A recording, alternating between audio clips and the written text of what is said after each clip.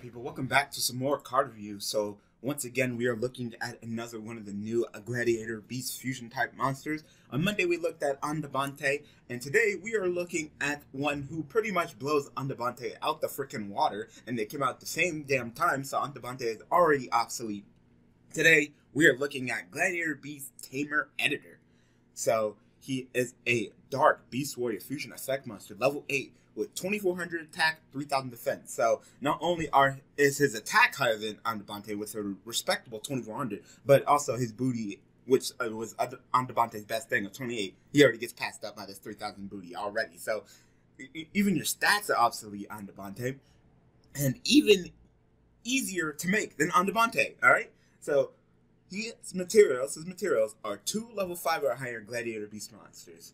Now, the Bante, of course, you need to use Augustus, so that's already one Gladiator Beast monster that's level 5 or higher. And you're probably like, man, two level 5 or higher Gladiator Beast monsters?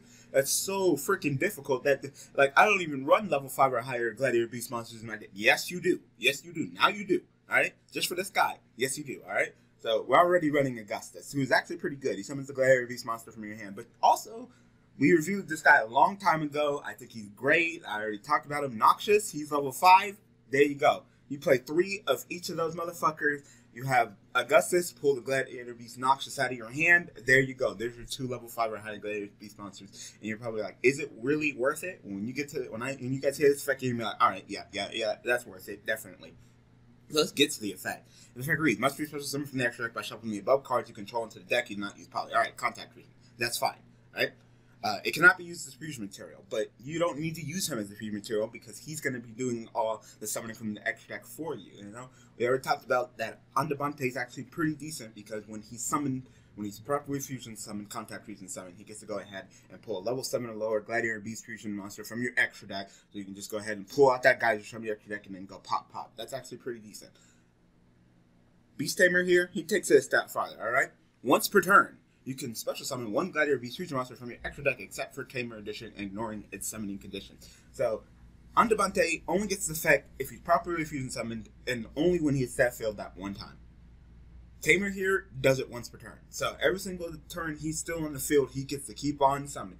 So you summon him, activate the effect, summon Gyzarus, pop pop, and keep in mind, Andavante said level 7 alert. This guy, there is no level restriction. He can go ahead and summon you that Heraklinos. So if you're in a favorable position, you're you've already done plenty of popping. You know, you're in a position where you're going to end the duel next turn. Your opponent has one more turn. You would rather go for a lockdown play, summon the Heraklinos, you know?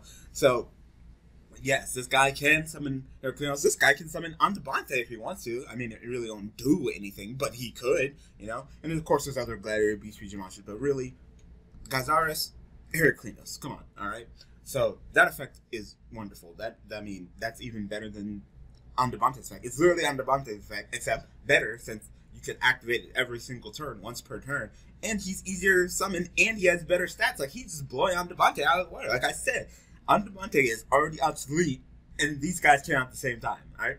Um, at the end of the battle phase, if a gladiator beast monster monsters you control battled, you can shuffle those monsters into the deck or extra deck and special summon the gladiator beast monster from your deck. So this effect is a little bit weaker than the actual gladiator beast fusion monster effect because, of course, generally they tag out for two.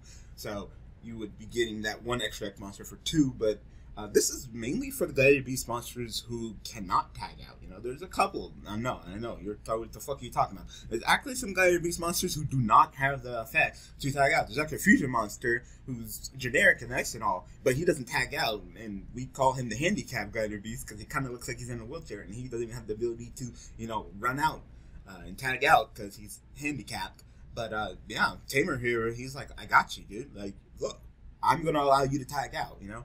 Now Tamer here, he does not tag out himself. That's fine. Like I said, he's the one who's pulling from the extra deck, and then he's like, "Hey, you leave and summon one from the deck." You know.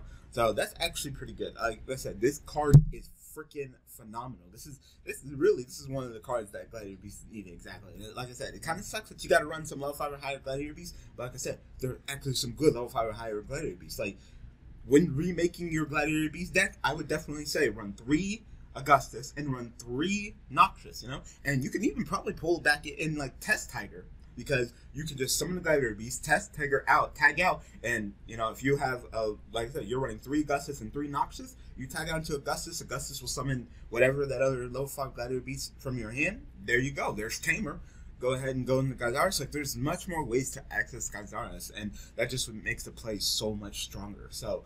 Uh, and just the fact that this card can access Heraklinos, like you don't even need Laquari anymore. You can just summon the Heraklinos from your damn extra deck with freaking uh, Tamer here. Like this guy is phenomenal. He is really great. And like I said, I don't even understand why you even think about playing uh, Andavante when freaking Tamer is right here. He already can use one of the materials for uh, Andavante, so he's just overall better. He's he's easy to summon. His stats are better. His effect is better. Everything about him is just better. So um, yeah, I'm definitely gonna give this guy a thumbs up.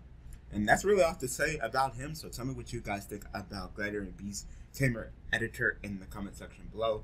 So uh, for Fake Card Friday, since we've already done two Glad Beast cards, you know, I decided for Fake Card Friday, let's look at more Glad Beast cards. So of course, uh, people like Glad Beast. They made some fake cards of Glad Beast. Uh, there's two of them that come on, so you're actually going to be getting a double card, fake card Friday. You know, uh, it's not a special because I've been doing it a lot lately, but you know what? That's fine. So I look forward to that. Anyway, I hope that you guys enjoyed. So, uh, like I said, I really appreciate all your support. Um, I will be doing a little update video soon, so look forward to that. But uh, like thanks for watching. Make sure you hit that like button, that subscribe button, and bell for notifications. And of course, I'll be back tomorrow with some more Yu-Gi-Oh related content. All right, people. Thanks for watching.